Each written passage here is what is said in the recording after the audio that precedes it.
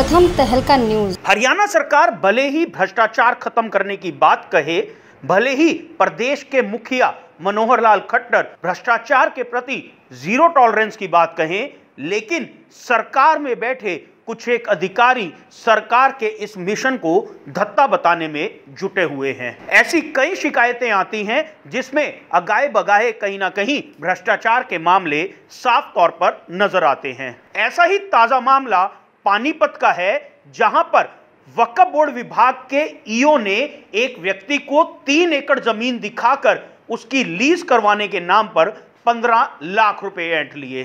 पीड़ित व्यक्ति ने ईओ साहब को पंद्रह लाख रुपए दे भी दिए और उसके बाद जब वह ज़मीन पर कब्जा लेने पहुँचा तो वहाँ जाकर उसके होश उड़ गए। वहाँ जाकर उसे पता लगा कि आखिर इस ज़मीन पर कब्जा तो किसी और का ही है। और जब उसने ईओ साहब से पैसे वापस मांगे तो ईओ साहब उसे टालने लग गए। परेशान व्यक्ति आज हरियाणा के गृह मंत्री अनिल विज के दरबार में पहुँचा और उसने पूरी मामले की ऑडियो रिकॉर्डिंग के साथ अनिल विज को शिकायत दी।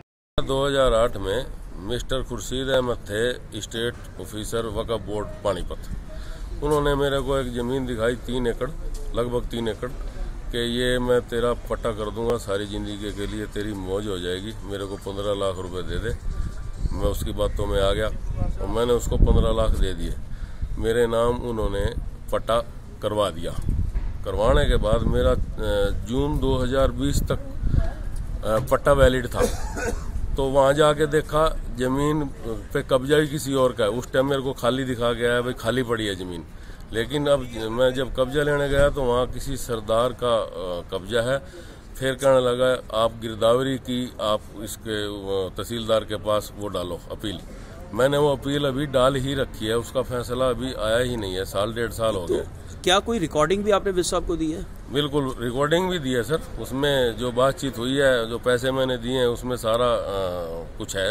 उस रिकॉर्डिंग में सर अब मैंने फ़ोन किया तो आ, किसी के थ्रू फ़ोन करवाया जो साथ बैठा था तो कहता मैं कल आऊँगा परसों आऊँगा। एक महीना हो गया सर ना पैसे दे रहा है ना ज़मीन में तो मारा गया जी बताओ।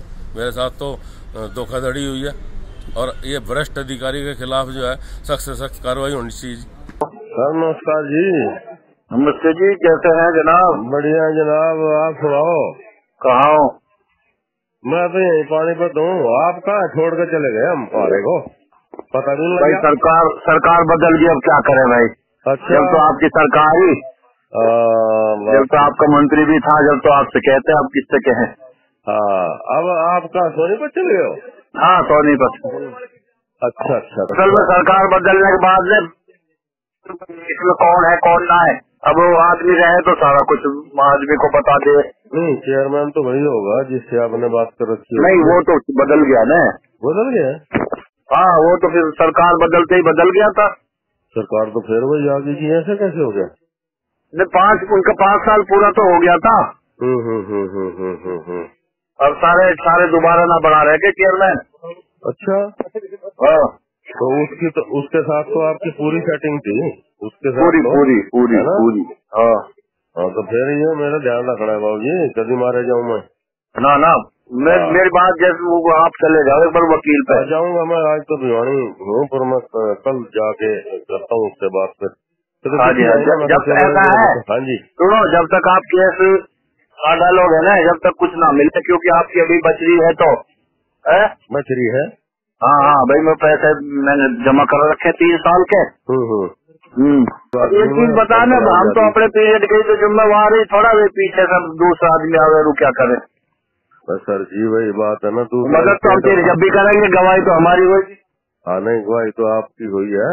वो आ जाए पार्टी लालच में आ जाए पार्टी आगे पहुँच जाए तेरी ज़मीन तो हमारी है हम वो है ये वो सौ बातें है। हैं? अच्छा। हाँ जी हाँ जी। पीछे से यार एक बात बता जब संगवाने वाला हो जब तो सौ बातें होती हैं। जब ना हो जब अलग बात है जब कुछ जब तो पता ही ना लगे बाप को भी हमें भी। चीज़ बता यार जब तेरे को पैसे की बात चल रही थोड़ा बढ़ा के नहीं अपने अपने पैसे निकाल लेता जब आदमी पे टाइम ही नहीं है। ये तो उसके हाथ में होता है जिसके पास वहीं अनिल विज से जब इस पूरे मामले को लेकर बात की गई तो उन्होंने स्पष्ट कहा कि मेरे पास एक शिकायत आई है जिसको जाँच के लिए मैंने डीजीपी ऑफ़िस भेज दिया है। हमने भेज दिया डीजीपी को कार्रवाई करने के लिए। बहरहाल, जिस तरीके से वक्फ बोर्ड की जमीनों को खुर्द करने के मामले लगातार सामने आते रहते हैं, ऐसे में इस तरह के भ्रष्टाचार का मामला अपने आप में कोई नया नहीं है। वहीं हमने जब इस पूरे मामले को लेकर जिस ईओ पर आरोप लगे थे, उनसे जब फ़ोन पर बात की तो पहले तो उन्होंने व्यक्ति को पहचानने से ही मना कर दिया और उसके बाद कहा कि मैंने तो इसके खिलाफ कई शिकायतें पहले ही दी हुई हैं। हेलो। सर हम तो तो खबर खबर बना रहे थे उससे आपकी प्रतिक्रिया चाहते हैं। हाँ झूठी है सारी खबर। तो जो आपकी रिकॉर्डिंग है पैसे मांगने की वो भी सब झूठी है। वो झूठी है। आपने क्या कोई ज़मीन इनको तीन एकड़ वो करवाई है? आप उसके अंदर हाँ, सलाह तो दे रहे हैं कि आप वकील कर लीजिए मेरी ऊपर सेटिंग है जो चेयरमैन थे। अब सरकार बदल गई है चेयरमैन बदल गए हैं। नहीं नहीं नहीं वो खुद ही पूछ रहे थे मेरे से। नहीं आपने ये कहा कि पहले वाले चेयरमैन तो कौन है? आपने ये कहा कि नहीं, नहीं, पहले वाले चेयरमैन से तो बहुत अच्छी सेटिंग थी। अब सरकार बदल गई मैंने ऐसी कोई बात ना कही जो उसमें। मैंने जो ये जो सब बनाई हुई बात है। नहीं सर रिकॉर्डिंग है ये ये तो रिकॉर्डिंग है। हमारे कई ज़मीन ले रखी है इन्होंने और भी ले रखी है। सर ये रिकॉर्डिंग है आपकी। हाँ तो रिकॉर्डिंग कोई बात नहीं इन्होंने तीस तीस लाख की दरखास्त भी दे रखी है और पंद्रह की भी दे रखी है। ये थोड़ा इतनी ब्लैक मेलिंग है। मैंने भी दे रखी है इनके खिलाफ दरखास्त। सोनीपत में ब्लैक मेलिंग की। ठीक है सर क्योंकि हम तो पत्रकार हैं हमारा जानना फ़र्ज़ है हाँ। और ये विश्व के दरबार नहीं नहीं में मैंने वहाँ मैंने सोनीपत थाने में दे रखी है। कब कभी तीस मांगे कभी बीस मांगे पच्चीस पचास मांगे इसको तो मैं जानता ही नहीं राजपाल को। लोग काम करके ले जाते हैं मुझे नहीं आप आपसे इनके एक बार फ़ोन पे बात हो रही है आप कहाँ हैं? आप उन्हें कह रहे हैं कि आप फ़ोटो लेके आ जाइए एफिडेविट लेके आ हूँ जाइए। जी कोई मेरी बात ना हुई उससे।